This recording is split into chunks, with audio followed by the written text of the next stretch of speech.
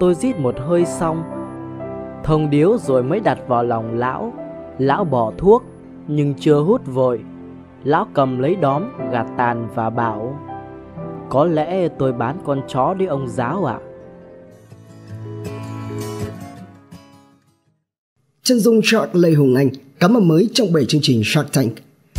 Trong quan điểm của Shark Lê Hùng Anh, với bất kỳ startup nào thì điều quan trọng nhất là con người chứ không phải là ý tưởng. Shark Lê Hùng Anh, nhà sáng lập kiêm giám đốc điều hành của Bean Corporation, chính là vị cá mập mới của chương trình Shark Tank Việt Nam mùa thứ 5, bên cạnh với những gương mặt đã quen thuộc như là Shark Hưng của Sen Group hay là Shark Phú của Sun House. Vị cá mập đến từ tỉnh Quảng Nam này cho biết, ông khởi nghiệp từ hai bàn tay trắng, đã từng thất bại nhiều lần trước khi gây dựng thành công The Bean Corporation Group tại nhiều quốc gia.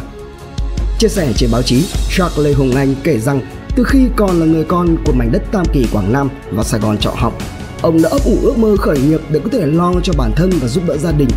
Đến năm thứ hai đại học, khi còn đang là sinh viên của trường Đại học Bách khoa Thành phố Hồ Chí Minh, ông đã bắt đầu khởi nghiệp bằng những dự án như là hệ thống dạy học trực tuyến, cửa hiệu bác sĩ máy tính. Charles Lê Hùng Anh nhớ lại rằng, ở thời điểm đó tôi nhận thấy việc vừa học vừa khởi nghiệp không mang lại hiệu quả như tôi mong đợi. Do vừa phải cán đáng việc học, việc làm, chi phí sinh hoạt, ăn ở tại thành phố Hồ Chí Minh cũng như theo đuổi đam mê khởi nghiệp. Vì vậy, tôi đã quyết định dừng lại việc học và tìm kiếm một công việc để có thể trau dồi kinh nghiệm làm việc trên thực tế và học hỏi được nhiều hơn về mô hình kinh doanh khác nhau. Khi tôi vào làm việc tại công ty may nhà bè ở vị trí nhân viên IT, may mắn thay là tôi đã được sếp và giám đốc chỉ bảo hướng dẫn rất nhiều. Chỉ một khoảng thời gian sau đó, với động lực là giúp đỡ gia đình và cho ba mẹ mình có một cuộc sống tốt hơn, cũng như là niềm đam mê khởi nghiệp cháy bỏng, tôi đã mạnh dạn thành lập công ty chuyên về hosting, dữ liệu doanh nghiệp, dịch vụ phụ trợ, hỗ trợ dịch vụ du lịch cùng với năm cộng sự đầu tiên và đây cũng là công ty tiền thân của tập đoàn Bing Corporation Group. Trong quá trình thực hiện một số dịch vụ hỗ trợ visa du lịch cho khách đối với các công ty nước ngoài, Jacques Lê Hùng Anh đã dần thấm thiếu sự thiệt thòi của doanh nghiệp Việt Nam. Ví như trong thanh toán quốc tế, doanh nghiệp phải chịu nhiều khoản phí hết sức vô lý, mất nhiều thời gian, qua nhiều khâu trung gian. Vậy là Jacques Lê Hùng Anh đã đích thân đi qua một số nước để tìm hiểu về các thủ tục, giao dịch, thông lệ về thanh toán quốc tế. Sau khi được mục sở thị nắm rõ cặn kẽ được quy trình, Charles Hồng Anh đã quyết định tự mình thành lập doanh nghiệp ở nước ngoài để có thể giải quyết các vấn đề về tài chính mà khi ấy trong nước còn vướng mắc. Và nhờ vào điều đó, Charles Hồng Anh đã giải quyết một cách nhanh gọn các thủ tục kinh doanh quốc tế của công ty mình, thậm chí là còn tiến tới mở rộng dịch vụ để hỗ trợ cho các công ty Việt Nam với một mức chi phí hợp lý hơn. Đây cũng là lúc mà One IBC, công ty chuyên tư vấn và hỗ trợ thành lập doanh nghiệp tại thị trường nước ngoài ra đời.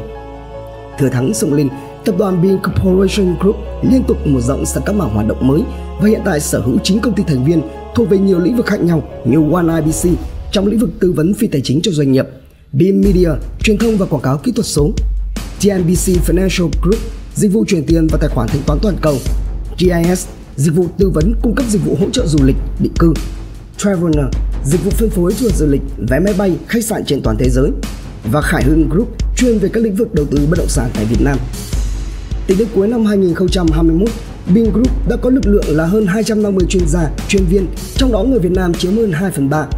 Chỉ tính riêng 5 văn phòng tại Mỹ, Úc, châu Âu, Hồng Kông và Singapore thì đã phải thuê thêm lao động bản xứ. Ở thời điểm đó, Jack Lê Hồng Anh tiết lộ trong khoảng thời gian từ 2 đến 3 năm tới đây thì Bin Corporation Group cần thêm tới cả ngàn nhân sự Việt Nam mới có thể đáp ứng được tốc độ phát triển của các sản phẩm dịch vụ mới.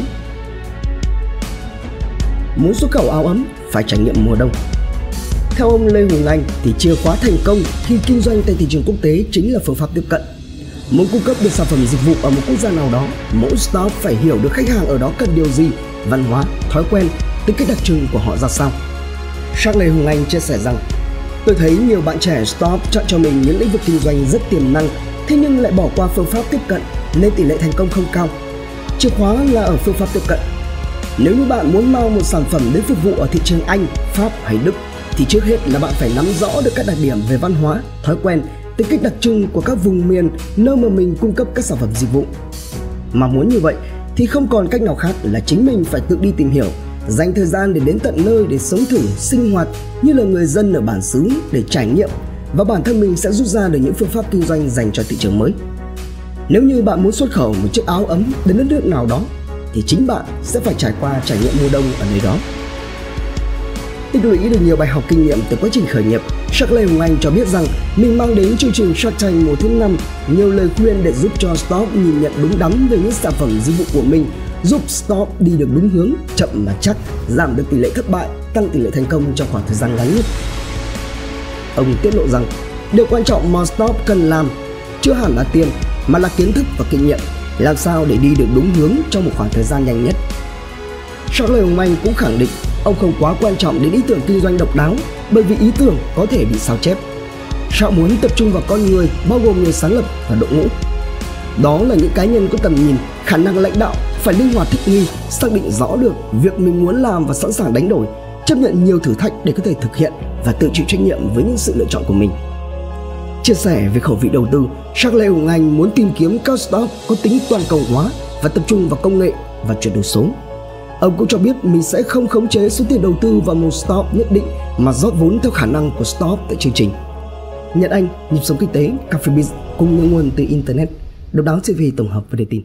Lắng nghe những câu chuyện kinh doanh, những bài học xây dựng thương hiệu, trau dồi kiến thức khởi nghiệp để tôi luyện bản thân mỗi ngày. Độc đáo TV, kênh thông tin kinh tế tài chính, kinh doanh khởi nghiệp. Đăng ký ngay